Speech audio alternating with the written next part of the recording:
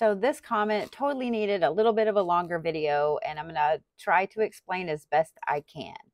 So for those of you guys that don't know, I have multiple forms of synesthesia due to brain damage from meningitis when I was 19.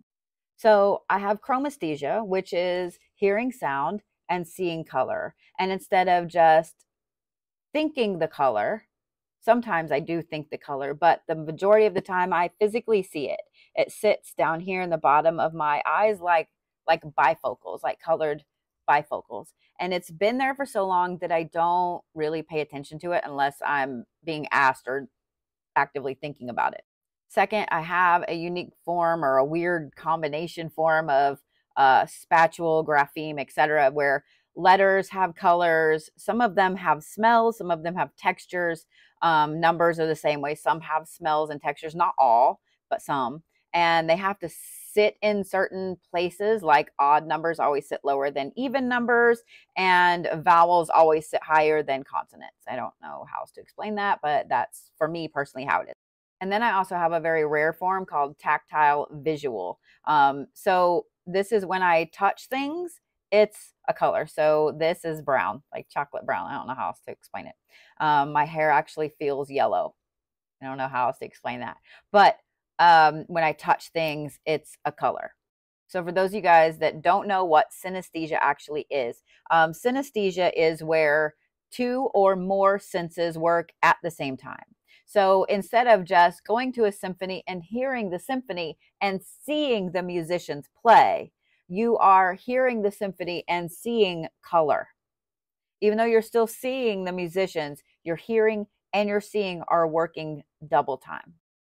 Usually it's due from brain damage or some part of an interesting wiring in your brain, having a really interesting, unique neurodivergence, etc. They think that only about 3 to 5% of the population has actual synesthesia. There are some people that when they hear something, they think, oh, that sounds pink. That is technically a light form of synesthesia. I personally think that 3 to 5% of the population is a little low. I think most people just don't know because I actually didn't know that the majority of people couldn't do this until 2020. I have lived with this all my life. And I didn't know until 2020 that not everybody can do this. Now, chromesthesia is one of the most common ones. Actually, I think it is the most common one. Um, seeing color or thinking color when you hear sound or music. Spatial or grapheme, where letters have to sit a certain place or letters have numbers, etc., is the second most common. There are tons of other types. If y'all want to fall down a rabbit hole, look up the different types of synesthesia. It will blow your mind. And you will see exactly why there are some people that never want to be touched or hear sounds. Just saying.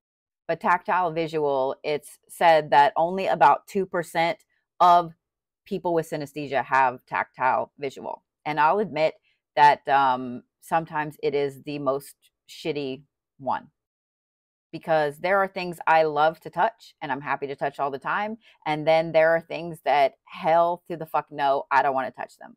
So now let me get to the question. So I I think you're asking me what a rainbow is like to me. A rainbow is just a rainbow. It's just a rainbow. Um now if I'm touching like fur that's rainbow colored, fur is always blue to me. Anything furry is some shade of blue. Um, anything wood is usually also a shade of blue. Is probably why I like both of them the most.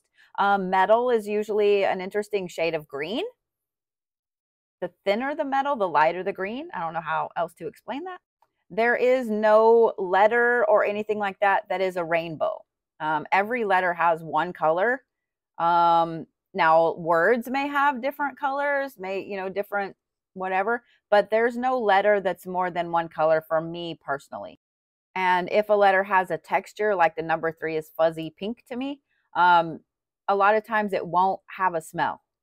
God, that sounds so fucking crazy when you say it. Now, music is a little different because with just one single note, this is why. So I played the trumpet all through school, and it's why I almost always had perfect pitch because I could see when it was wrong, when it didn't sit in the right space, it was wrong. So I almost always had perfect pitch. I knew when a note was off.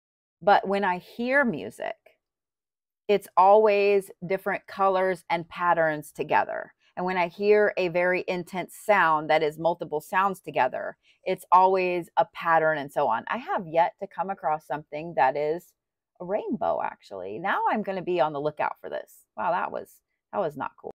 So I will say one of the most abrasive sounds for me like visually, it is just hearing wise anyway, is when wind blows across a, a speaker on a cell phone when you're talking to somebody.